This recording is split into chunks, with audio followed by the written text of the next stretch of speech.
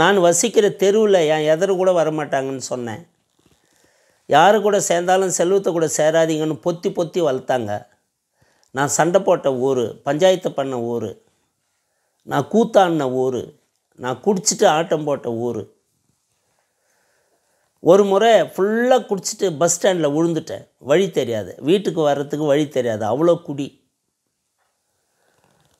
வனமயில் பெரியம்மா மாம்பழம் வித்துங்கிறாங்க அதில் ஒன்று எடுத்து பாதி தின்னேன் பாதி தலைக்காணி வச்சுக்கிட்டேன் அது பன்னி வந்து பிடுங்கிச்சு பன்னி வாயிலுக்கிறத நான் பிடுங்கினேன் கடைக்கு போகிற வர ஜனம் வேடிக்கை பார்க்குது பன்னி வாயிலுக்கிற மாம்பழத்தை இவன் வாயில் வச்சுப்பானா இல்லை பண்ணிக்கே ஊட்டுவானா எத்தனை அசிங்கம் எத்தனை அவமானங்க என் மனைவி கேட்டிருந்தா என் பிள்ளைங்க கேட்டிருந்தா எவ்வளோ கண்ணீர் வடிச்சிருப்பாங்க எவ்வளோ வெக்கப்பட்டு இருப்பாங்க பட்டிருப்பாங்க ஆனால் என்கிட்ட சொல்லிக்கல கேள்விப்படையாமல் இருந்திருப்பாங்க ஒரு விவகாரம் நடக்குதுன்னா ஊரில் உடனே வந்துடும் இல்லையா வெக்கப்பட்டு வேதனைப்பட்டு தான் அந்த வாழ்க்கை எனக்கு இருந்தது வெக்கக்கேடான வாழ்க்கை தான் குடிகார வாழ்க்கை கூத்தாடி கொண்டிருக்கிற வாழ்க்கை பாருங்கள் அந்த இடத்துல ஒரு மகளுக்கு ஞானஸ்தானம் கொடுக்கும்படியாய் அந்த ஒரு மகள் மூலமாய் ஒன்று ஒன்று ஒன்று ஒன்றுன்னு இன்றைக்கி நூறு விசுவாசிகளை கொண்டு ஒரு திருச்சபையை நான் வளர்ந்த ஊர் நான் பிறந்த ஊரில் திருச்சபை நடத்த ஆண்டவர் உதவி செய்தார்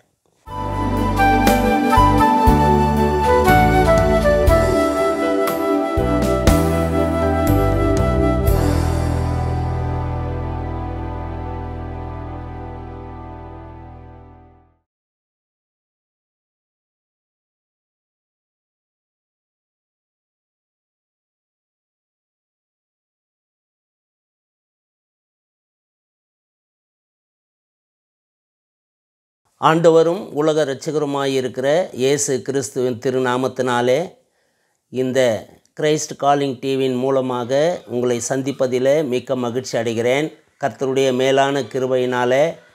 அருமை சகோதரர் டேனியல் ஐயா அவர்களோடு இணைந்து என்னுடைய சாட்சியை பகிர்ந்து கொள்வதில் மிக்க மகிழ்ச்சி அடைகிறேன் ஆண்டவர் எனக்கு செய்த நன்மைகளை உங்களுக்கு சொல்வதில் மிக்க மகிழ்ச்சி திருவள்ளூர் மாவட்டம் ஊத்துக்கோட்டை வட்டம் மெய்யூர் கிராமத்தைச் சேர்ந்த நான் என்னுடைய பாட்டனார் கிட்டு முருகன் என்று சொல்வார்கள் கிட்டுக்கான் பாட்டி வந்து பொன்னி படிப்பறிவு இல்லாதவர்கள் தொழில் வந்து கூலி தொழில் நாகரீகமற்றவர்கள் மிருதங்கம் மூடி மிருதங்கத்தினாலே அந்த காலத்தில் பிழைப்பு என் அப்பாவோட நாலு பேர் பிறந்தார்கள் இப்போ நாலு பேரும் படிப்பு அறிவில்லாதவர்கள் என் அப்பா பெயர் நைனியப்பன்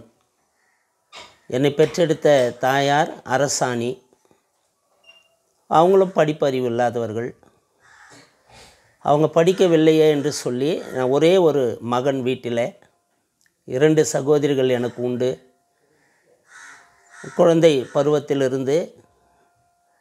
ஒரே மகன் என்கின்ற ஒரு காரணத்தினால செல்லமாய் வளர்த்தார்கள் செல்வமாய் என்னை வைத்து படிக்க வைத்தார்கள் ப்ளஸ் டூ வரையும் படித்தேன் ஒரே மார்க்கில் தோல்வியுற்றேன் எனக்கு பிஎஸ்சி நர்சிங் மேல் படிப்பதற்கு மிகுந்த ஆசை அதுக்காகத்தான் ப்ளஸ் டூ வரையும் என் தகப்பனார் கஷ்டப்பட்டு என்னை படிக்க வைத்தார்கள் ஒரே மார்க்கில் ஃபிசிக்ஸில் அறுபத்தொன்பது ஃபெயில் ஆகிவிட்டேன் மன உளைச்சலில் ஹாஸ்டலில் தான் படித்தேன் நான் மாணவர்கள் விடுதியில் படித்தேன் படிக்க வைக்க அவ்வளோ கஷ்டம் இருந்து என்னை ஹாஸ்டலில் சேர்த்துட்டாங்க ஹாஸ்டலில் படித்து ஒரு மார்க்கில் ஃபெயில் ஆகிட்டேன்ற மன அழுத்தத்தில் விரக்தியில் ஊருக்கு வந்தேன் படிக்கும்போதே எனக்கு குடிப்பழக்கம் உண்டு ஏன்னா நான் எடுத்து படித்தது second group pure science physics chemistry botany zoology அது எக்ஸ்பிரிமெண்ட் பண்ண ஸ்பிரிட்டு கொடுப்பாங்க பழுக்கு கொளுத்திட்டு பரிசோதனை செய்யணும்னு அப்போது அந்த ஸ்பிரிட்டில் தம்ஸ் அப் ஊற்றி குடிக்க கற்றுக்கிட்டேன் ஃபெயில் ஆகிட்டோன்னே ஊருக்கு வந்த உடனே எங்கள் ஊர் சாராயம் காய்ச்சிற ஊர் காட்டு பகுதியாக இருக்கிறதுனால வீட்டுக்கு வீட்டுக்கும் சாராயம் காசுவாங்க நல்லா குடிப்பேன் குடிக்கிறதுலே நல்லா குடிப்பேன் அஞ்சு லிட்டர் பட்ட சாராயத்தை குடிச்சிடும் எங்கள் ஊர் வந்து கூத்துக்கு பேர் போனது தெருக்கூத்துக்கு பேர் போனது ட்ராமா தெருக்கூத்து மகாபாரதம் ராமாயணம் ஹரிச்சந்திரா சில நாவல்ஸ் கதைகளை சொந்தமாகவே கதை எழுதி சொந்தமாகவே பாடல்கள் எழுதி அதை கற்றுக் கொடுப்பதற்கு ஒரு ஆசான் ஒரு குரு எழுமலை வாத்தியார் என்று சொல்லி ஒருவர் கிராமத்தில் இருந்தார் அவர் ஒத்திகை கூத்து ஒத்திகைன்னு சொல்லுவாங்க அதை கற்றுக் கொடுத்திருந்தார் ஒரு நாள் இரவு சாராயம் குடிச்சிட்டு வரும்பொழுது அந்த வீட்டாண்ட போனால் ஒத்திக்கை நடக்குது அது ரிகல்சல் நடக்குது பார்த்தேன் அந்த கிராமிய கலை எனக்கு ரொம்ப பிடித்து இருந்ததுனால அதிலே நான் போய் சேர்ந்துட்டேன் வீட்டுக்கு தெரியாமையே அந்த கூத்தை கற்றுக்கிட்டு என்னை அரங்கேற்றம் செய்து அப்போ தான் வீட்டுக்கு தெரிஞ்சது நான் கூத்து கற்றுக்கினேன்னு நான் ஒரே பையன் என்று சொன்னதுனால என்னை எதிலுமே கண்டுக்கிறதில்லை வளர்ப்புலேயும் சரி படிப்புலேயும் சரி நான் குடித்து தெரிந்து கொண்டு இருந்த போதும் சரி என் தாய் தகப்பன் என்னை கேட்டதே கிடையாது அவ்வளோ செல்லம் ஒரு முறை பயங்கரமாக குடிச்சிட்டு நான் வந்து பக்கத்து வீட்டு தென்னை மேலே விழுந்து கிடக்கும்போது எங்கள் அம்மா வந்து என்னை அப்படியே கட்டி அரவணைத்து எங்கே தொண்டை காஞ்சி போதோ என் பிள்ளை எங்கே செத்துருமோன்னு கிளாஸில் தண்ணி வச்சுக்கிட்டு கொஞ்சம் கொஞ்சமாக கொஞ்சம் கொஞ்சமாக என் நெஞ்சை நினைக்கிறாங்க அப்போ தான் தெரியுது நான் குடிக்கிறேன் கூத்தாடுறேன்னு சொல்லி அப்போ பெற்ற தாய் கூட கொஞ்சம் அருவறுப்பு ஏற்பட்டது என்பதை நான் அப்போ உணரலை அப்போ மறுபடியும் சகஜமாக என்னுடைய வேலை கூத்தாடுறது கூத்தில் போய் கம்பெனியில் சேர்ந்துட்டேன் ஒரு மெயின் வேஷம் தான் போடுவேன் கதாநாயகன் வேஷம் அப்போது ஒரு முறை ஒரு கிராமத்தில் பப்புன் போடுறவரும் வரல பப்புன்னு சொன்னால் ஒரு கூத்துக்கு ஒரு நாடகத்துக்கு எல்லாம் தெரிஞ்சிருக்கணும் ஒரு வேஷக்காரன் வரலன்னா அந்த வேஷத்தை இவன் மாற்றி போடணும் எந்த சீனுக்கு எதை யாரை அனுப்பணும்னு நல்லா தெரிஞ்சிருக்கணும் ஒரு டைரக்டர் போல் வாத்தியாருக்கு அடுத்த ஆளாக இவன் இருக்கணும் என்னுடைய குரு வந்து ஹார்மோனிஸ்ட் அவர் தான் கதை வசனம் இயக்கம் பாடல்கள் எல்லாமே அப்போது ஒரு நாள் ஃபுல்லாக குடிச்சிட்டு அந்த பப்பனுக்காரன் வராதுனால நான் போட்டுக்கிறேன் நான் போட்டு பார்க்குறேன்னு சொல்லி அந்த பப்புன் வேஷத்தை நான் போட்டுக்கிட்டேன் பப்புனில் பாட்டு இப்படி வரும் பப்புன் பாட்டு இது திக்கெல்லாம் பேர் எடுத்த திருவள்ளூரை அடுத்த திவ்யமான மெய்யோ தானுங்கோ நானுங்கோ திக்கெல்லாம் பேர் எடுத்த திருவள்ளூரை அடுத்த திவ்யமான மெய்யூர் நானுங்கோ தானுங்கோ ஜெகன் புகழ் எந்தன் கூறு சிறுவன் ஏழு மலைக்காவி சேவித்தேன் உந்தன் பாதம் நானுங்கோ தானுங்கோ கொட்டடியாதி தட்டிட மேலம் கொட்டடியாதி தட்டிட மேலம் தகுர்தா குமர்தா போட்டுக்க தாளம் ஆத்தோரமாயிருக்கும் காத்தாடி தோப்புக்குள்ளே கூத்தாடி ஓடி வந்தேன் பாருங்கோ நானுங்கோ ஆட்டம் பார்க்க வந்திருக்கும் அனைவருக்கும் வணக்கம் அமைதியாக இருந்தீரானால் எங்கள் ஆட்டம் மணக்கும் இப்படியாக நாடகத்துறையில் முதல் நாள் போட்டேன் நல்ல பேர் எடுத்துட்டேன் அப்போ தொடர்ந்து எனக்கு அதையே பப்புனாகவே என்னை ஆக்கிவிட்டார்கள் பப்புன் செல்வம் என்று சொல்லுவார்கள் பயங்கரமான குடிக்காரன் ஒரு சாவானா டான்ஸ் ஆட அங்கே ஓடிடுவேன் கூத்து ஆட தெரியும் குடிக்க தெரியும் வேறு வேலை ஒன்றும் தெரியாது என்னை பெற்றவங்க கை விட்டுட்டாங்க இது நமக்கு அடங்கா பிள்ள இது அடங்காது அவ்வளோதான் எப்போ படம் கூத்துவாதியர் விட்டாண்ட போயிடுது இந்த கூத்துவாதியரே சுற்றிக்கின்னு தெரியுது இது நம்ம பிள்ளை இல்லை அப்படி என்று சொல்லி என்னை வெறுக்க ஆரம்பித்தார்கள் ஒரே பையன் செல்வமாய் பிறந்தேன் செல்வத்தோடு வளர்ந்தேன் என்னை நல்லா படிக்க வைத்தார்கள் நான் அடங்கலை ஆத்தாளுக்கும் அடங்கலை அப்பனுக்கும் அடங்கலை ஊருக்கு அடங்கலை உலகத்துக்கு அடங்கலை பயங்கரமான சண்டைக்காரன் நான் வசிக்கிற இந்த தெருவில் என் எதிர யாருமே வரமாட்டாங்க எடுத்தோன்னே அடிச்சிருவேன் அந்த தாய்மாரெல்லாம் யாரை கூட சேர்ந்தாலும் செல்வத்தை கூட சேராத குடிக்கார பையன் கூத்தார பையன் என்று சொல்லி பொத்தி பொத்தி வளர்த்தார்கள் இப்போ என் தாய் தகப்பனுக்கு எவ்வளோ அவமானம் பாருங்கள் குழந்தை பருவத்திலிருந்து என்னை பாலூட்டி சீராட்டி வளர்த்த தாய் என்னை வெறுத்தார்கள் தோளின் மீது சுமந்து வளர்த்த தகப்பன் என்னை வெறுத்து விட்டார் இது நம்ம பிள்ளை இல்லை என்று சொல்லி இப்படி என் வாழ்க்கையில் யாரும் கேட்குறதுக்கு ஆள் இல்லை என்று சொல்லி என்னுடைய இஷ்டமாகவே நான் வளர்க்க வளர்ந்தேன் கூத்தாடி கொண்டிருந்தேன் கூத்தில் நல்ல பேர் பப்புன்னு செல்வோன்னா தெரியாத ஆளேன்னு கூட சொல்லலாம் பாண்டிச்சேரி பழுவேற்காடு அருப்புக்கோட்டை ஸ்ரீஹரிக்கோட்டை காஞ்சிபுரம் திருவண்ணாமலை செய்யாறு பல இடங்களிலே பேர் எடுத்தேன் கூத்தாடி கொண்டு வந்தேன் என்னுடைய குரு என்று சொல்லப்பட்ட வாத்தியார் அவருக்கு நான்கு பிள்ளைகள் உண்டு பெண் பிள்ளைகள் அதில் ரெண்டாவது பெண்ணை நான் திருமணம் செய்து கொண்டேன் விருப்பப்பட்டு அந்த மகளை நான் திருமணம் செய்து கொண்டேன் நான் வந்து அந்த வாத்தியாரையே போய் கேட்டேன் உங்கள் மகளை நான் கட்டிக்கிறேன் அப்படின்னு சொல்லி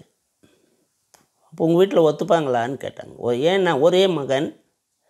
எனக்கு தாய் மாமன்கள் ஐந்து பேர் உண்டு தாய்மகன் தாய்மாமா பொண்ணை கட்டிப்பான்னு அம்மா அப்பா ஆசையோடு இருந்தார்கள் எனக்கு தாய்மாமா பொண்ணை கட்டிக்க விருப்பம் இல்லை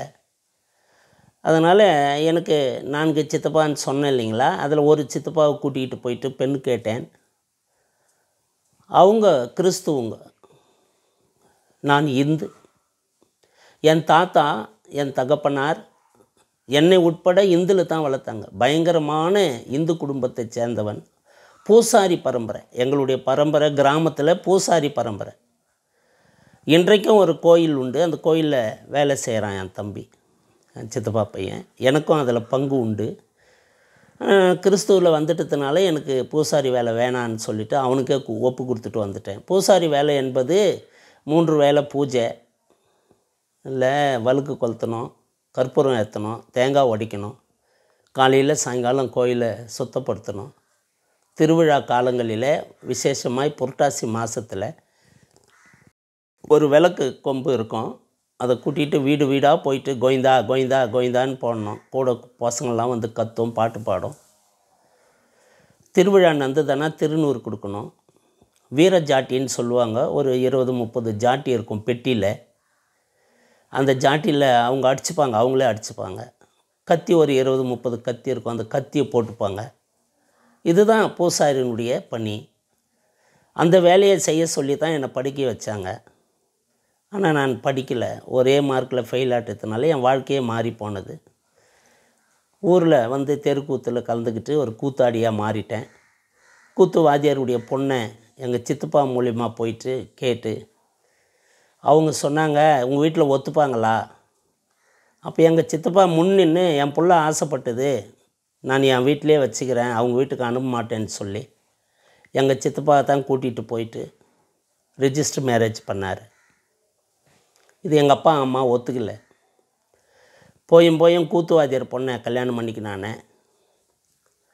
அவன் எனக்கு தேவையே இல்லை என் பிள்ளையே இல்லைன்னு சொல்லி என்னை வீட்டை விட்டு அனுப்பிச்சிட்டாங்க போயிட்டு வாத்தியார் வீட்டிலே சேர்ந்துட்டேன் எப்போ அந்த வாத்தியாருக்கு நான் மருமவனை ஆனனோ அந்த கூத்து வாத்தியார் ஏழுமலை வாத்தியார் எஸ்ஐக்கெலாம் மாறி சிஎஸ்ஐயில் ஊழிக்காராக மாறிட்டார் அவர் ஊழிக்கார்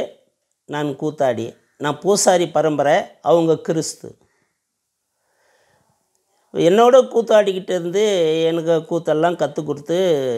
நல்ல பேர் வந்தாலும் கூட அவர் எப்போ ஊழியக்காரர் ஆயிட்டாரோ என்னை விட்டுட்டார் அவரும் என்னை விட்டார் அவர் இஷ்டமாக அவர் கூத்தாடிட்டு வரட்டும் நல்ல பேர் அப்படின்னு ஆண்டவர் எனக்கு மூணு பிள்ளைங்களை கொடுத்தார் ரெண்டு பையன் ஒரு பொண்ணு ஆறு வயசு நாலு வயசு ரெண்டு வயசு இப்போ ரொம்ப அவங்க ஊழியக்காரர் எப்போ ஆயிட்டாங்களோ ஜபத்தில் ரொம்ப இருபத்தி நாலு மணி நேரமும் ஆண்டவருடைய அந்த ஜபத்திலே இருப்பாங்க என் மனைவி பயங்கரமான ஒரு ஜப வீராங்கனியாக இருந்தார் குடிக்கிறாரு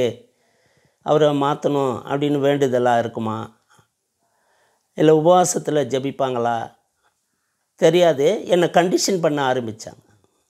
குடிச்சிட்டு என் பிள்ளைங்கள தூக்கக்கூடாது குடிகார வாட வரும் என் பிள்ளைங்களுக்கு அது ஒத்துக்காது இது ஊழியக்கார வீடு குடிச்சிட்டெல்லாம் வரக்கூடாது அப்படின்னு முதல்ல ஆரம்பமே அந்த குடியை நிறுத்துறதுக்கான கண்டிஷன் போட்டாங்க ஆனால் நான் அடங்கலை பெத்த அப்பா அம்மாவுக்கே அடங்கலை உனக்கு எங்கே அடங்க போகிறேன்னு நினச்சிக்கிட்டு என் வேலையை நான் பார்த்துக்கிட்டே இருந்தேன் ஒரு முறை கல்யாணத்துக்கு அமுச்சு விட்டாங்க பக்கத்தூரில் மொழியெல்லாம் கொடுத்து அனுப்பிச்சி விட்டாங்க கல்யாணத்துக்கு மொழி வைக்கல ஃபுல்லாக நூறுரூபாவுக்கு ஃபுல்லாக சாராக குடிச்சிட்டு வந்து என் வாசலில் ஊழ்ந்துட்டேன் மேலே என் மனைவி ஜவம் பண்ணிகிட்டு இருக்கிறாங்க காலு பயங்கரமாக வீக்கம் மாதிரி எனக்கு ஒரு தோற்றம் வெடிச்சிட்ற மாதிரி ஒரு யானைக்கால் மாதிரி வீங்குது என் நல்லா தெரியுது ஓன்னு கத்துறேன் நான் கத்தின கத்து என் மனைவி வந்து பார்க்குறாங்க என்ன என் அலங்காலத்தை பார்த்துட்டு அப்புறம் ஜப என்னை தடவி ஜபம் பண்ணிவிட்டு அவங்க போயிட்டாங்க நான் தூங்கி எழுந்து பார்த்தோன்னே ஒரு சிந்தனை ராத்திரியெல்லாம் அழுதுகிட்டு இருந்தோமே கால் வெடிச்சு மாற மாதிரி பண்ணுமே அப்படின்ட்டு கேட்டேன் நான் இது மாதிரி எனக்கு கால் வெடிச்சு போகிற மாதிரி இருந்தது உங்கள் அப்பா உங்கள் அம்மாலாம் கூட எனக்கு நினைவில் வந்துட்டாங்களே எனக்கு எப்படி இது ஆச்சு இல்லை நான் தான் ஜபம் பண்ணி என்ன தடவுனேன் அப்போ உள்ளத்துக்குள்ளே ஒரு எண்ணம் சாதாரண ஜபத்துக்கு அந்த சாதாரண எண்ணிக்கே இவ்வளோ சுகத்தை கொடுத்தாரு ஆண்டவர் அப்போ உண்மையான தெய்வமாக இருக்குமோ அப்படின்னு நான் மனசில் நினச்சிக்கிட்டு போயிட்டேன் மறுபடியும் தொடர்ந்து குடியும் கூத்துமா தான் இருந்தேன் ஒரு முறை ஃபுல்லாக குடிச்சிட்டு ரோட்டில் விழுந்தப்போ ஆட்டோ கால் மேலே ஏறிடுச்சு மறுபடியும் கால் வீங்கி போய் வீட்டுக்கு வந்தேன்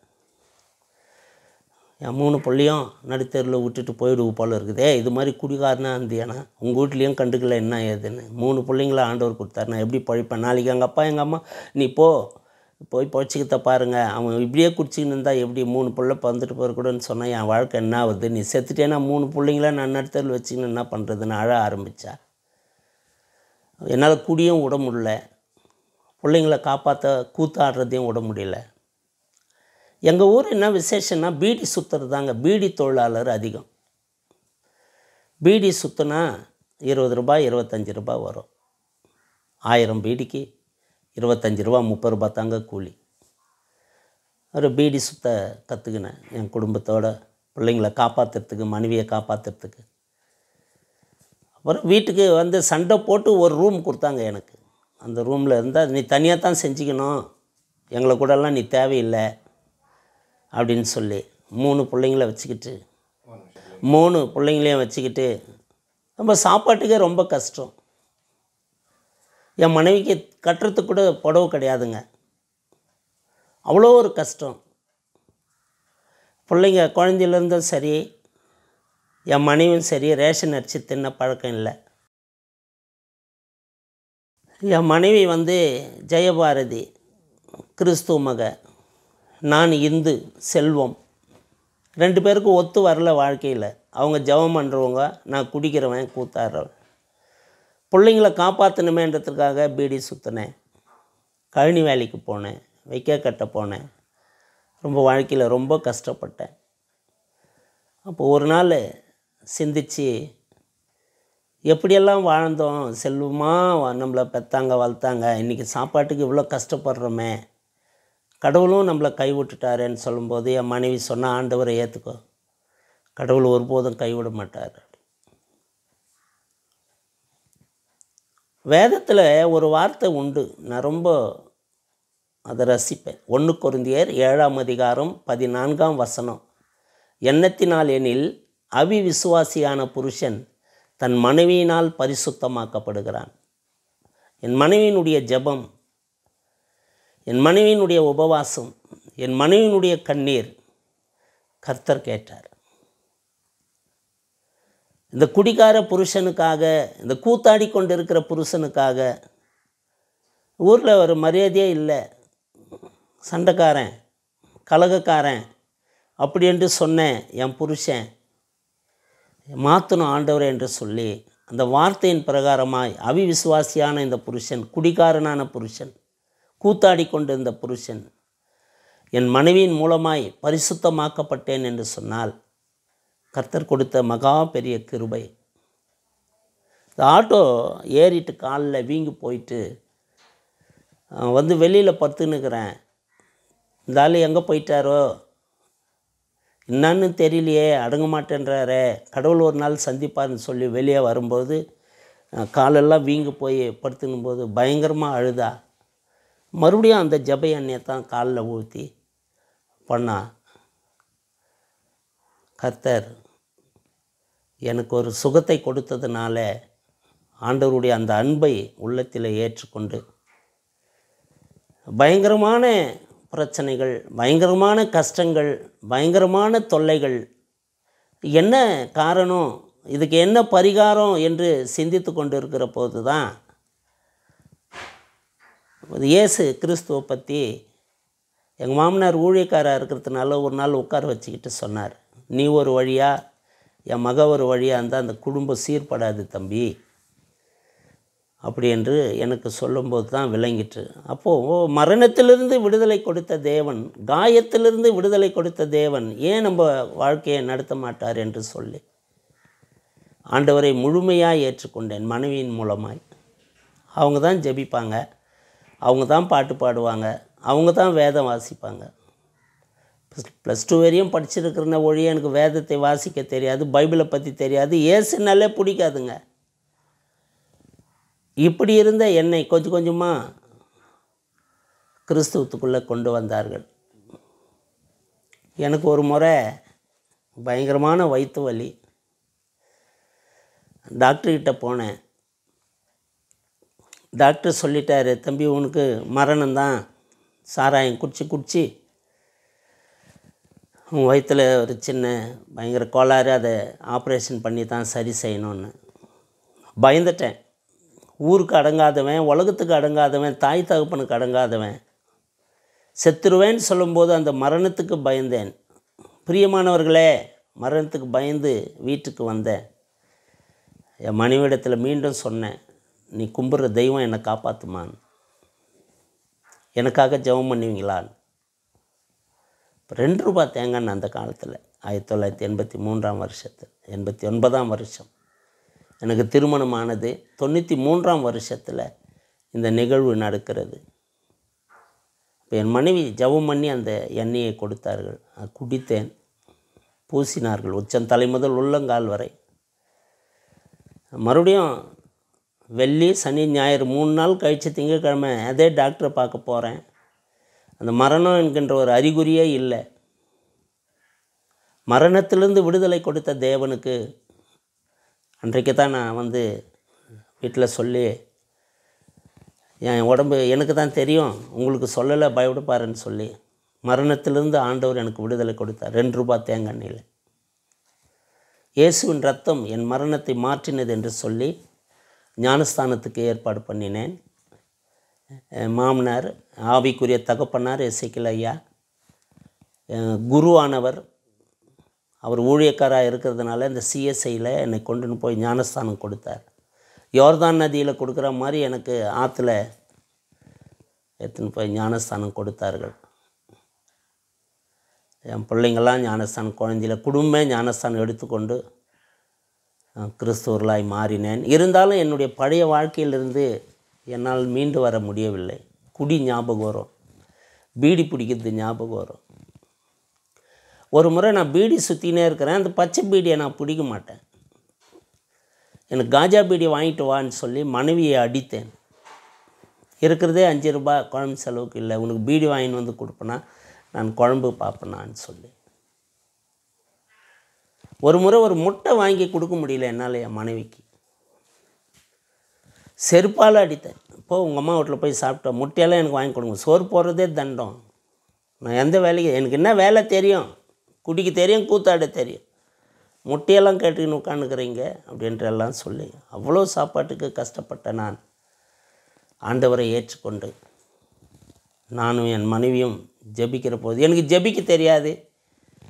பாட்டு பாட தெரியாது பைபிள் வாசிக்க தெரியாது ஒன்றும் தெரியாது சும்மா எல்லாம் என் மனைவி தான் வழி நடத்தினார்கள்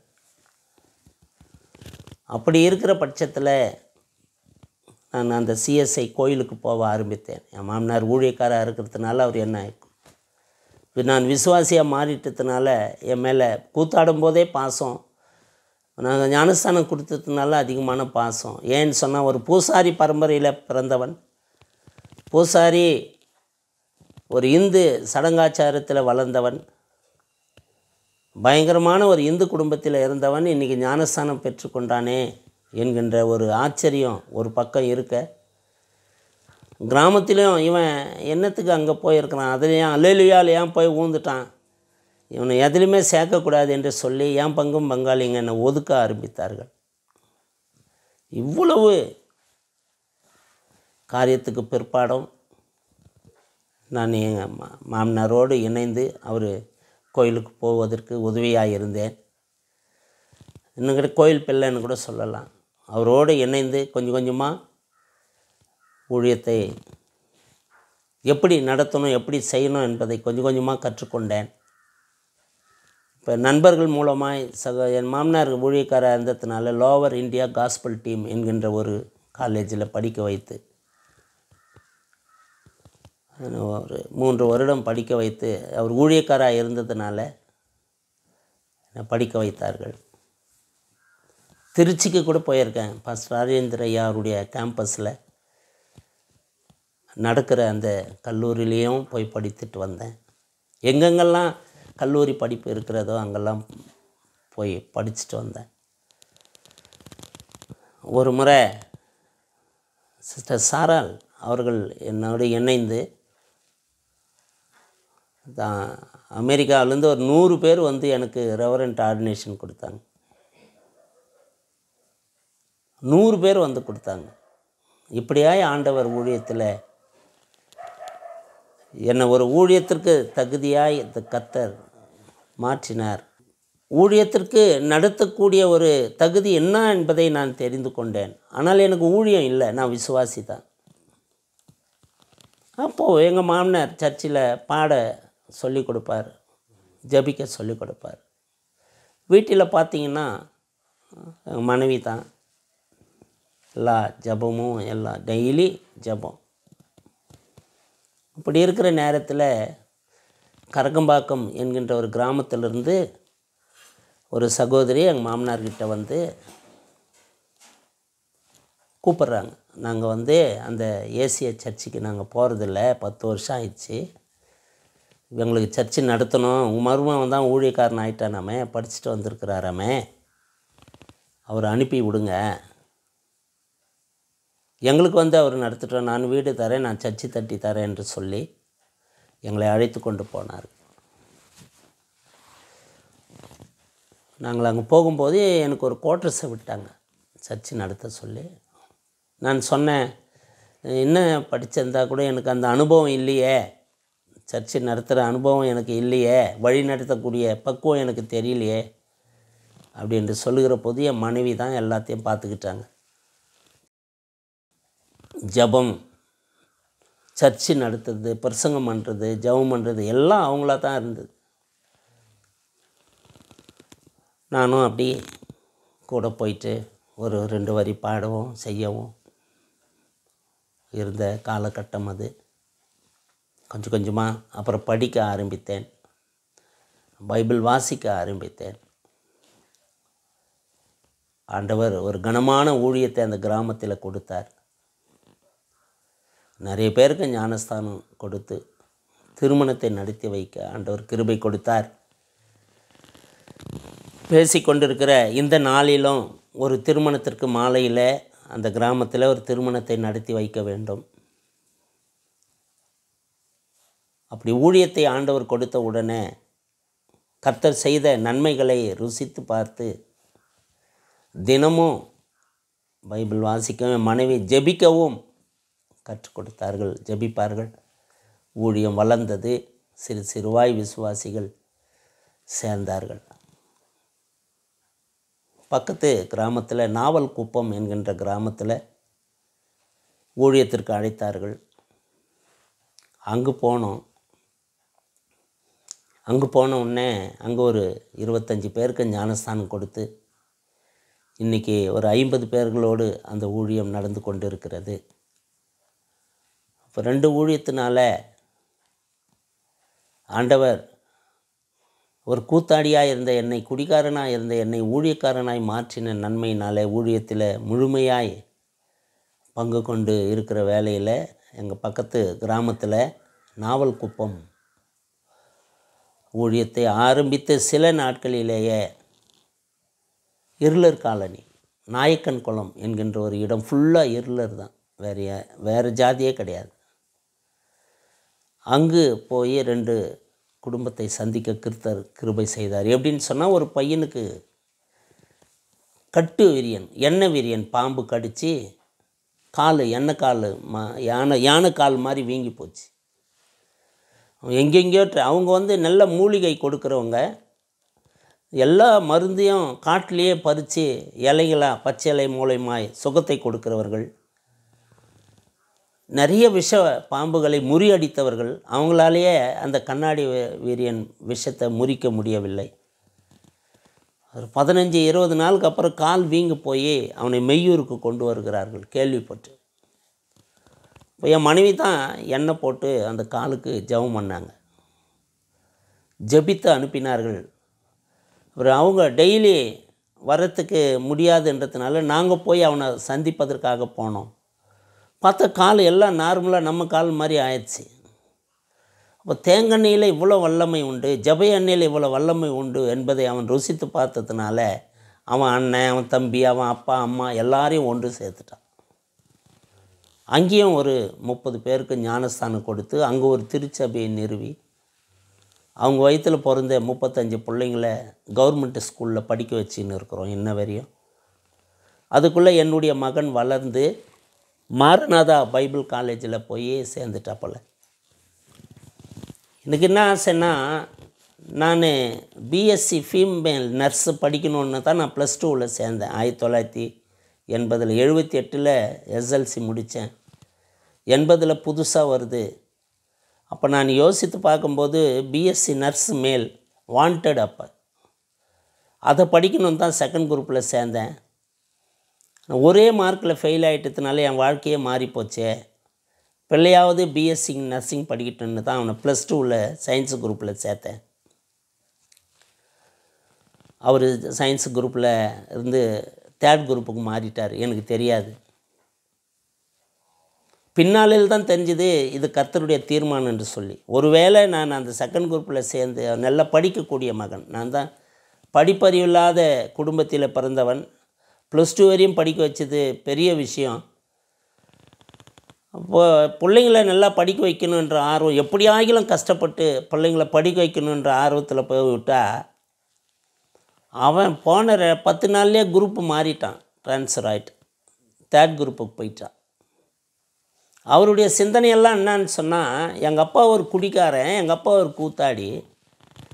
நாம் ஏன் படிக்கக்கூடாது நாம் ஏன் வேதத்தை படிக்கக்கூடாது நம்ம ஏன் ஊழியக்காரர் ஆகக்கூடாதுன்ற எண்ணம் அந்த சிறு வயசில் அந்த மகனுக்கு ஏற்பட்டதுனால ப்ளஸ் டூ எப்போ முடிய போகுதுன்னு காத்து இருந்து போய் மாரநாதராவில் சேர்ந்துட்டார் பைபிள் காலேஜில் மூணு வருஷம் இங்கிலீஷு ரெண்டு வருஷம் தமிழ் அஞ்சு வருஷம் படிச்சுட்டு வந்தார் அதுக்குள்ளே எனக்கு ஆண்டவர் ரெண்டு சர்ச்சை கொடுத்ததுனால மூணாவது சர்ச்சுக்கு அந்த இருளர் காலனியை அந்த மகன் அந்த பதினெட்டு பதினாறு வயசு பதினெட்டு வயசுலேயே ஊழியத்தை அந்த மகன் அந்த இருளர் மத்தியில் போய் செய்ய ஆரம்பித்தார் அவரால் முடிந்த உதவிகள் பேனா பென்சிலு நோட் புக்கு இப்படியாக சிறு சிறு உதவிகள் அவர்கள் நண்பர்களோடு சேர்ந்து அந்த பகுதியில் செய்து கொஞ்சம் கொஞ்சமாக வளர ஆரம்பித்து முப்பத்தஞ்சு பசங்க நீ ஸ்கூலில் படிக்குது ஒரு பையன் அதில் ப்ளஸ் டூ நாகராஜ் நாலு பேர் டென்த்து படிக்காத நாடோடி வாழ்க்கை காட்டு மேலே ஓடுறானுங்க இவர் டெய்லி போய் அந்த பசங்களெல்லாம் பிடிச்சி படிங்கடா படிங்கடா நாலு எழுத்து தெரிஞ்சுங்கன்னு சொல்லி அவர் எங்கெங்கேயோ ஐயா போய் சுற்றி மாதத்தில் ஒரு அஞ்சு கிலோ அரிசி எண்ணெய் சோப்பு குளிக்கிற சோப்பு துணி துவைக்கிற சோப்பு ஃபேஸ்ட்டு ப்ரெஷ்ஷு அந்த பிள்ளைங்களுக்கு அப்பேற்பட்ட உதவியை இன்று வரையும் மகன் செய்து கொண்டிருக்கிறார் ஒரு ஒரு நம்ம சர்ச்சை பிள்ளைய டெய்லி டியூஷன் அந்த இடத்துக்கு டியூஷன் அனுப்புகிறார் இந்த மூணு சர்ச்சை ஆயிட்டு உடனே இவர் படிப்பை முடிக்கிறதுக்கும் மூணு சர்ச்சை ஆண்டவர் கொடுக்கறதுக்கும் சரியாக இருந்தது அப்போ என் மனைவியும் என் மகனும் சர்ச்சுக்கு போவாங்க அவங்க ஒரு ஆராதனை ஏழரைலேருந்து ஒம்பது வரையும் ஒரு ஆராதனை ஒம்பதரைக்கு மேலே பத்துலேருந்து பன்னெண்டு வரையும் ரெண்டு ஆராதனை ஏழரை ஒம்பது ஒரு ஆராதனை பத்து பன்னெண்டு ஒரு ஆராதனை இவங்க இந்த ஆராதனைக்கு போய் வருவாங்க உட்கார்ந்து கொண்டு பேசி கொண்டு இருக்க இருக்கணும் இது ஊழியர் குடும்பம் ஆயிடுத்துனால இது இது ஒரு ப்ரேயர் செல் ஆயிடுச்சு போகிறவங்க வரவங்க ஜவம் பண்ணிக்கிட்டு போகிற இதுவாகிடுச்சு இந்த இடம் ப்ரேயர் செல் பத்து பேர் அஞ்சு பேர் வந்து ஜபிக்கிற இடம் இது அப்போ ஒரு மகளுக்கு கால் நடக்க முடியாத ஒரு பன்னெண்டு வயசு பொண்ணை அந்த தாய் தகப்பன் தூக்கின்னு வராங்க அந்த குழந்தைய தூக்கிட்டு வரும்போது என் மனைவி கேட்குறாங்க என்னம்மா ஆச்சு குழந்தைக்கு உடம்பு அப்படின்னு காலு முடியல ஐயாம்மா என் பொண்ணு நடக்கவே நடக்கலை அப்படியா சரி கொஞ்சம் ஜபமானா பண்ணுமா அப்படின்னு அந்த மகள் வேண்டிக் கொண்ட போது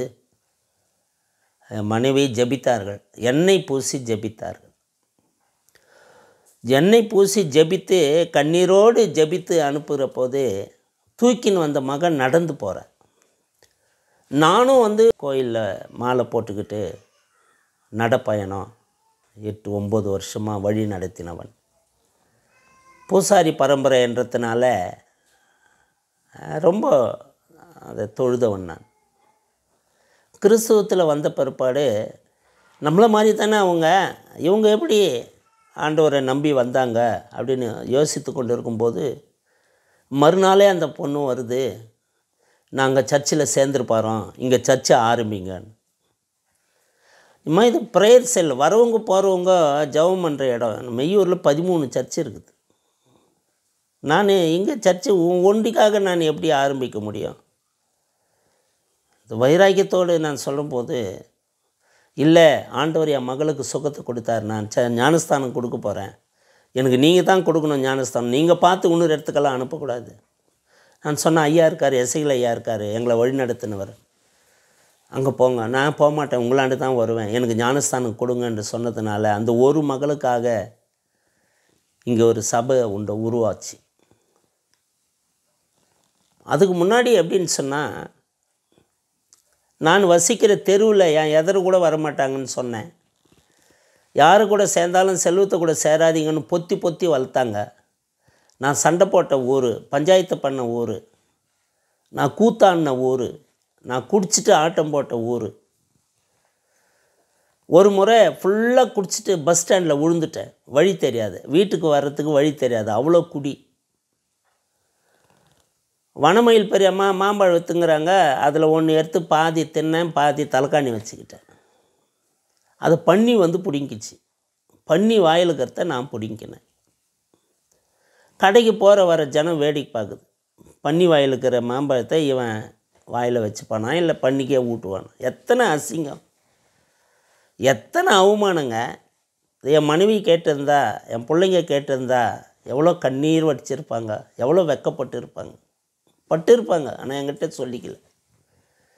கேள்விப்படையாமல் இருந்திருப்பாங்க ஒரு விவகாரம் நடக்குதுன்னா ஊரில் உடனே வந்துடும் இல்லையா வெக்கப்பட்டு வேதனைப்பட்டு தான் அந்த வாழ்க்கை எனக்கு இருந்தது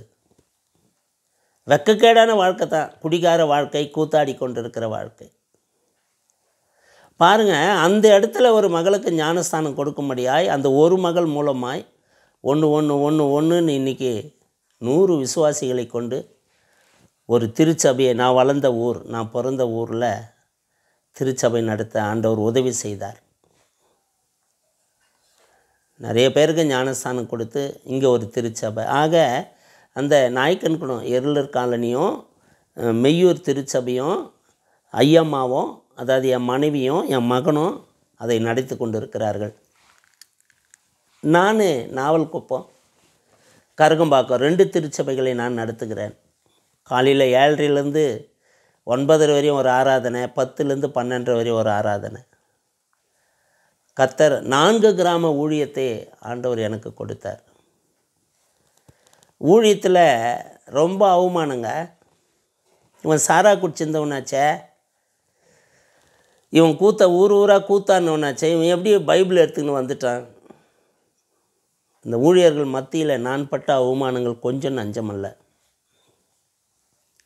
எந்த ஒரு ஃபெலோஷிப்புக்கும் என்னால் போக முடியாது ஒரு வேளை அப்படியே மீறி போயிட்டேன்னா திருவள்ளூருக்கு நீ ஏன் இங்கே வந்த உனக்கெல்லாம் பைபிள் எடுக்கவே தகுதி இல்லைன்னு கூட கேட்டாங்க கேட்டவர்கள் உண்டு நான் அழுது உட்காந்துட்டு வந்திருக்கிறேன் எல்லாருக்கும் சாப்பாடுக்கு டோக்கன் கொடுப்பாங்க எனக்கு டோக்கன் கொடுக்க மாட்டாங்க ஏன்னா உனக்கு இல்லை உன் பேரே பதிவில் இல்லைன்னு சொல்லிடுவாங்க அதனால் அந்த நாள் முதல் இந்த நாள் வரை நான் ஊழியத்துக்கு வந்து முப்பது வருஷம் ஆயிடுச்சு இதுவரை நான் ஒரு ஃபெலோஷிப்பு போனதில்லை ஊழியக்காராக என்னை ஏற்றுக்கிறதே இல்லை யாருமே அப்படிப்பட்ட சூழ்நிலையில் ஆண்டவர் பட்டி தொட்டி கிராமங்கள் சித்தூர் மைசூர் வேலூர் பெங்களூர் செங்கல்பட்டு ஈரோடு இல்லையா ஆந்திரா சித்தூர் பல இடங்களிலே பல குக்கிராமங்களிலே கர்த்தர் என்னை இன்று வரை பயன்படுத்தி வருகிறார் யாரெல்லாம் ஒதுக்கப்பட்டேனோ யாரெல்லாம் எங்கெல்லாம் அவமானப்படுத்தப்பட்டேனோ அவங்க எதிரே ஆண்டவர் நான்கு திருச்சபைகளை கொடுத்து என்னை ஊழியத்தில் அநேக இடங்களில் கத்தர் பயன்படுத்தி கொண்டு வருகிறார் அப்படி ஆண்டவர் என்னை பயன்படுத்தி வருகிற போது தான் அருமை நண்பு சகோதரன் கிரைஸ்ட் காலிங் டிவி நடத்துகிற பிரதர் டானியல் ஐயா அவர்கள்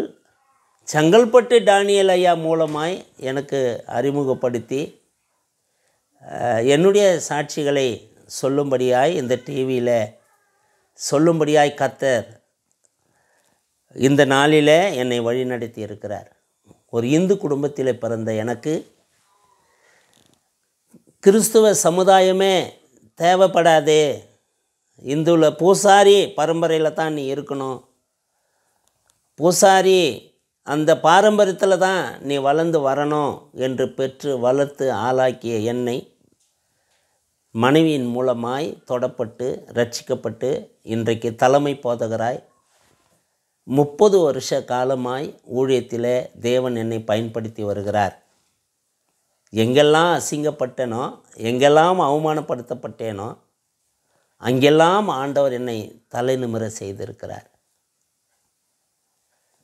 என் மனைவியின் கண்ணீர் ஜபம் என் வாழ்க்கையை மாற்றினது என்னுடைய மூத்த மகனுக்கு திருமணத்தை நடத்த வேண்டும் என்று முடிவு செய்தோம் முப்பது வயசாயிடுச்சு கல்யாணம் வேணாம் அப்படியென்று வைராக்கியமாக இருந்தார் ஏன்னா மூக்கு குத்தக்கூடாது காது குத்தக்கூடாது நகை இல்லாத பொண்ணு வேணும்னு சொல்லி முப்பது வருஷம் ஆயிடுச்சு எங்கே கிடைக்கும் நம்பிக்கையே அற்று போனவர்களாய் ஊழியம் செய்கிற நாங்கள் அநேக திருமணங்களை நடத்தி இருக்கிறேன் ஊழியத்துக்கு வந்து முப்பது வருஷம் ஆச்சுங்க நான் போய் ஒரு திருமணத்தை நடத்தினேன் அந்த திருமணத்தில் நடத்தி அவங்க வயிற்றில் புள்ள பிறந்து அந்த பிள்ளைக்கு கல்யாணத்தை பண்ணுற பாக்கியத்தை கத்தர் எனக்கு கொடுத்துருக்கிறார் ஐயா நான் போயிட்டு ஊழியத்தில் கல்யாணம் பண்ணி அது வயிற்றில் புள்ள பிறந்து அது ஆளாகி அது இருபது வருஷம் ஆகிப்போய் அதுக்கு பொண்ணை பார்த்து அது கல்யாணம் பண்ணுற பாக்கியத்தை ஆண்டவர் எனக்கு கொடுத்தார் அப்போ அத்தா அவங்க அப்பா அம்மாவுக்கும் கல்யாணம் பண்ணேன் அது வயிற்றில் பிறந்த பிள்ளைக்கும் கல்யாணம் பண்ணுற பாக்கியத்தை கத்தர் கொடுத்தார் ஆனால் என் பிள்ளைக்கு வருத்தம் இது எங்கே கிடைக்கும் எவ்வளோ சொல்லி பார்த்தாச்சு ஆனால் ஜபம் என் மனைவியின் ஜபம் கண்ணீரின் ஜபம் பிரியமானவர்களே என் மனைவி சொன்னாங்க நான் சொன்னேன் இனிமேல் பெரியவன் கல்யாணத்தை பற்றி என்கிட்ட பேசக்கூடாது என்ன அப்போ என் மனைவி சொன்னாங்க இல்லையா லாசுருவை ஆண்டவர் எனக்கு காட்டுறாரு நீங்கள் லாசுருவை போய் பாருங்கள் ஊழியத்தில் அநேக அற்புதங்களை அதிசயங்களை செய்திருந்தாலும் என் குடும்பத்தில் ஆண்டவர் செய்த அற்புதங்கள் ஏறாலும் என் மனைவியின் மூலமாய் ஐயா நீங்கள் லாசரை போய் பாருங்கள் ஆண்டவர் என்கிட்ட பேசினார் ஏன் லாசுர ஏன்னா என் மனைவி சொல்கிறதுல ஒரு அற்புதம் உண்டு ஆண்டவர் அநேக வெளிப்பாடுகளை அநேக தரிசனங்களை ஆண்டவர் என் மனைவிக்கு கொடுத்துருக்கிறார் குடும்பத்தில் கருத்து வேறுபாடுகள் இருந்தாலும் கூட ஊழியத்தில் என் மனைவி சொல்கிறத தான் நான் கேட்பேன் ஊழியத்தின் நிமித்தமாய் என் மனைவி போடுற கோட்டை நான் தாண்ட மாட்டேன் இதை செய்யுங்கன்னா அதை அப்படி செஞ்சிருவேன் குடும்பத்தில் ஒரு சில காரியங்களில் அவங்க பேச்சை நான் எடுத்துக்கலைன்னா கூட ஊழியத்தின் பாதையில் அவங்க பக்கத்தில் சப்போர்ட்டாக எனக்கு நிற்கிறவங்க அவங்க தான் இப்போ மெய்யூரில் நடக்கிற சபை ஊழியத்தில் வெளியூர்லேருந்தெல்லாம் நிறைய வருவாங்க இரவு ஒரு மணிக்கு வந்து என் மனைவியை எழுப்புவாங்க ஒரு மணிக்கு பொன்னேரிலேருந்து கார் எடுத்துக்கிட்டு வருவாங்க நாகலாபுரம் இல்லை இந்த ஆர தெலுங்கு தேசம் இந்த பக்கம் ரெட் ஹில்ஸு நிறைய வந்து என் மனைவி தான் ஜபிப்பாங்க ஏங்க சர்ச்சுக்கு போகிறோம் ஒரு எண்பது பேர் எழுபது பேர் ஊழியக்காரர் முப்பது வருஷம் நான் ஊழியம் பண்ணுறேன் என்கிட்ட ஒருத்தர் கூட வரமாட்டாங்க ஜெபம் பண்ணிக்க என் மனைவியை தான் தேடி ஓடுவாங்க அதுக்காக நான் வருத்தப்பட்டதில்லை பெருமைப்பட்டிருக்கிறேன் கடவுள் அந்த மகள் மூலமாக அவ்வளோ தாழ்ந்து கொடுத்ததுக்காக ஆண்டவரை நான் ஸ்தோத்தரிக்கிறேன் நான் ஒரு நாளும் வருத்தப்பட்டதே இல்லை நான் வீட்டில் கூட வந்து சொல்லுவேன் என் பிள்ளைங்கிட்ட சொல்லுவேன் அம்மாண்ட தாம்பா நிறைய ஜெபம் பண்ணிக்கினாங்க என்கிட்ட ஒரே ஒரு ஆள் வரமாட்டேன்றாங்க சிரிப்பாங்க எல்லாம் அப்படி ஒரு தரிசனத்தை ஒரு வெளிப்பாடுகளை என் மனைவிக்கு ஆண்டவர் கொடுத்ததுனால லாசரோ போய் பாருன்னு ஆண்டவர் என்னோடு பேசினார் அப்படின்னு அவங்க அழுத்தம் திருத்தமாக சொல்கிறாங்க சரி எங்கே அதுவும் லாசருன்னா எத்தனையோ லாசர் இருக்கிறான் எந்த லாசர்கிட்ட போ நாலாபுரம் போங்க அப்படி அங்கே போன பிறகு போய் சொன்னேன் வாங்க ஐயா என்ன விஷயம் அது மாதிரி அசோக் பொண்ணு வேணும் பொண்ணு இருக்குதுவா காது குத்தக்கூடாது மூக்கு குத்தக்கூடாதுன்னு அதே பொண்ணு இருக்குதுவான்னு கூட்டிகிட்டு போயிட்டு ஒரு பொண்ணை காமிச்சாங்க என் மகன் எப்படி ஆசைப்பட்டாரோ அதே மகனை அதே மகளை என் ம மகனுக்கு கொடுத்து அந்த திருமணத்தை வெகு சிறப்பாய் ஒன்றும் இல்லைன்னா கூட வெகு சிறப்பாய் நடத்தக்கூடிய கிருபையை தேவன்தான் கொடுத்தார் அவருக்கு ஒரு மாதம் ஆச்சு ஒரு ஆண் பிள்ளை பறந்து இப்போ அங்கே போயிட்டார் அவர் இல்லைன்னா இந்த டிவியில் வருவேன் வருவேன் அப்படின்னு சொல்லியிருக்கிறாரு டைம் ஆகிட்டே இருக்குது என்னன்னு தெரியல சூழ்நிலை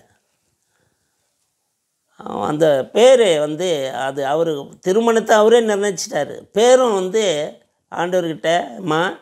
எங்கள் வாயிலே நுழையில அந்த பேர் ஆலேப் கிரைஸ்ட் ஈடன் அப்படின்னு ஒரு பேர் அவரே வச்சு ஆண்டு ஒரு கிருபையினால் வைச்சார் என் மகளுக்கு ஒரு நல்ல மருமகனை இந்த மாதிரப்பாக்கம் தேசத்தில் பாதிரிவேடு தேசத்தில் கொடுத்தார் குடும்பத்திலையும் ஒரே குழப்பம் அவமானம் ரெண்டு என் மகளுக்கு ரெண்டு குழந்தை இறந்து போனது ஊழியம் செய்கிற எங்களுக்கு இவ்வளோ உபத்திரமாக இவ்வளோ அப்படி அப்படின்று கூட சில நாள் நினைத்தது உண்டு ஆனாலும் வைராக்கியமான அந்த ப்ரேயர் இரவில் என் மனைவி அழுது ஜபிக்கும்போது கர்த்தர் அருமையான பெண் குழந்தையை கொடுத்தார் இப்போ வந்தால் இந்த டிஸ்டர்பாக இருக்குன்ட்டு அவளை வெளியே டாப்பல் போட்டு உட்கார வச்சுட்டு இருக்கிறோம் அருமையான மகளை எனக்கு ஆண்டவர் நல்ல குடும்பத்தை ஆண்டவர் கொடுத்தார் நல்ல மனைவியை கொடுத்தார் மருமகனை கொடுத்தார் நான்கு கிராம ஊழியங்களை கொடுத்தார் வெளி இடங்களில் சென்று கன்வென்ஷன் கூட்டங்கள் உபவாச கூட்டங்கள் முழு இரவு கூட்டங்கள் அமாவாசை கூட்டங்கள் இப்படியெல்லாம் ஆண்டவர் கொண்டு சென்று என்னை பயன்படுத்துகிறார் கூத்தாடியாக இருந்த நான் குடிகாரனாக இருந்த நான் இன்றைக்கு நான்கு திருச்சபைக்கு தலைமை போதகராக கர்த்தர் உங்கள் முன்னே என்னை சாட்சியாய் வைத்திருக்கிறார் என்ன காரணம் தெரியுங்களா உன் பாதத்தில் விழுந்தேன் ஐயா தூக்கி நிறுத்துமையா என்னை தூக்கி நிறுத்துமையா நானோரானாதை ஐயா இயேசுவே நீரே என் தேவனையா உன் பாதத்தில் விழுந்தேனையா தூக்கி நிறுத்துமையா என்னை தூக்கி நிறுத்துமையா அவர் பாதத்தில் விழுந்தாலே போதுங்க கர்த்தர் எப்பேற்பட்ட ஆளாக இருந்தாலும் கர்த்தர் மகிமையான வாழ்க்கையாய் மாற்றுவார் குப்பை தாங்க என்னுடைய படுக்கை குப்பை தான் என்னுடைய படுக்கை என்னுடைய வாழ்க்கை குறித்து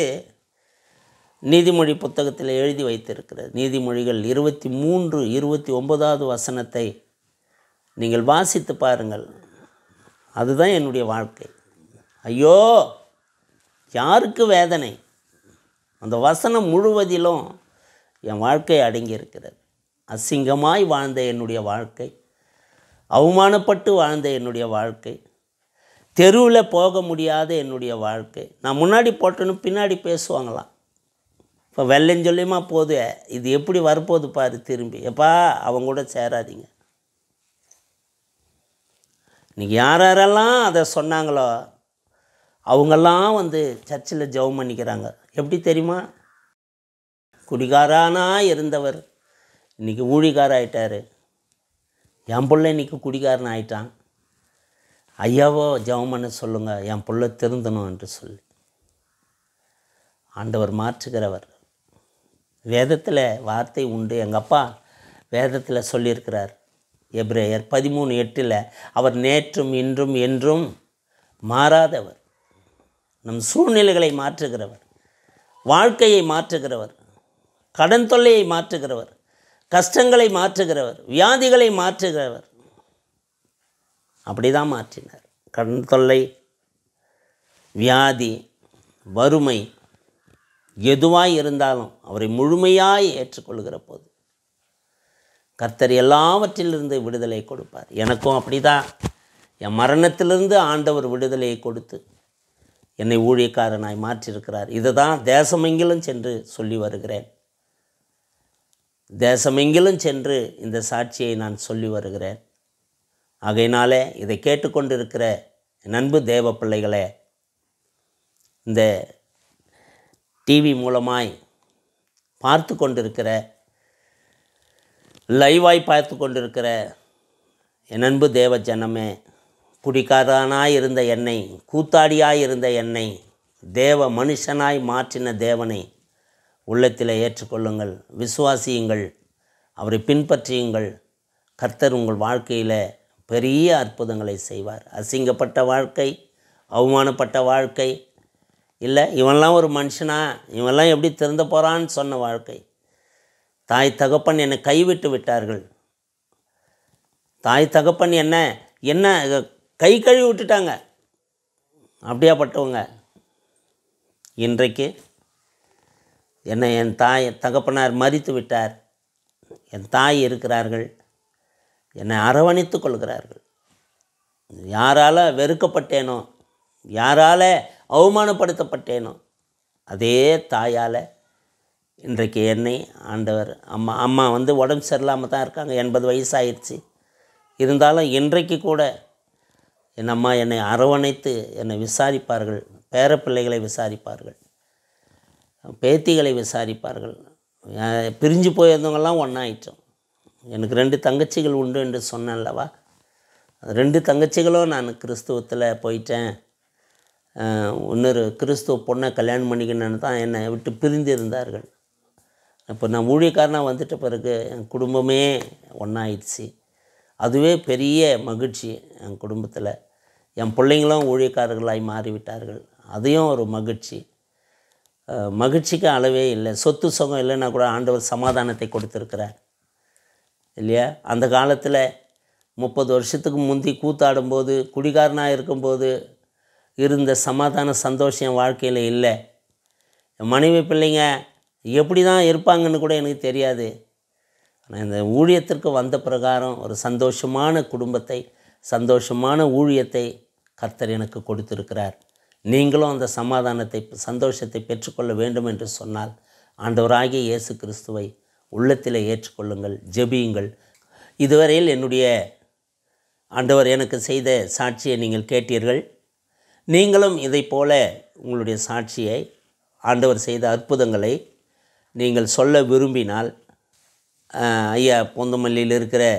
பிரதர் தானியல் ஐயாவை தொடர்பு கொள்வீர்கள் என்று சொன்னால் நீங்களும் இதை போல் மீடியாக்களிலே சாட்சி சொல்ல கர்த்தர் உங்களை அழைக்கிறார் அவரோடு தொடர்பு கொள்ளுங்கள் அவருடைய ஃபோன் பணமாக பணமாக பொருளை தேவையில்லை இலவசமாய் உங்களுடைய சாட்சிகளையும் உங்களுடைய ஊழியங்களையும் நீங்கள் பட்டி தொட்டிகளிலே எல்லாருக்கும் அன்றருடைய சாட்சியை சொல்ல விரும்பினால் பொந்தமல்லியில் இருக்கிற பிரதர் டேனியல் ஐயாவை தொடர்பு கொண்டால் இலவசமாய் உங்களுக்கு மீடியாக்கள் மூலமாய் உங்கள் சாட்சியை பகிர்ந்து கொள்ள கத்தர் கிருபை செய்வார் ஆமேன் இப்போதும் கூட ஆண்டவர் அந்த மகனையும் அவர் செய்கிற இந்த ஊழியங்களையும் இந்த டிவி ஊழியத்தையும் ஆண்டவர் ஆசிர்வதிக்கும்படியாய் கூட நான் ஒவ்வொரு குடும்ப ஜபத்திலும் உங்களை ஜபிக்க வேண்டுகிறேன் கர்த்தர் தாமே உங்களை ஆசிர்வதித்து வழி நடத்துவாராக ஆமேன் காட் பிளஸ் யூ அன்பான கிரைஸ்ட் காலிங் டிவி நேயர்களே இப்பொழுது நமது ஆவியானவரின் ஏவுதலின் படி ஒரு ஜெப கோபுரம் அதாவது கிரைஸ்ட் காலிங் பிரேயர் ஹவுஸ் நிறுவ பிரயாசப்பட்டு கொண்டிருக்கிறோம் ஆத்தும தாகமும் ஆண்டவரின் தரிசனமும் உள்ளோர் எங்களோடு இணைந்து கரம் கோர்த்து இந்த கிரைஸ்ட் காலிங் டிவி ஜெப வீட்டை கட்டி எழுப்பலாம் வேதம் சொல்லுகிறபடி அவனவன் விசனமாயும் அல்ல கட்டாயமாயும் அல்ல உற்சாகமாய் கொடுக்கிறவனிடத்தில் தேவன் பிரியமாயிருக்கிறார் என்கிற வார்த்தையின்படி பாரமுள்ளவர்கள் எங்களுக்காக உதவ முன்வாருங்கள் மேலும் விவரங்களுக்கு எங்களை தொடர்பு கொள்ளுங்கள் தொடர்புக்கு seven double six double seven five nine zero two nine வாருங்கள் நாம் இணைந்து தேவனுடைய ராஜ்யத்தை கட்டுவோம்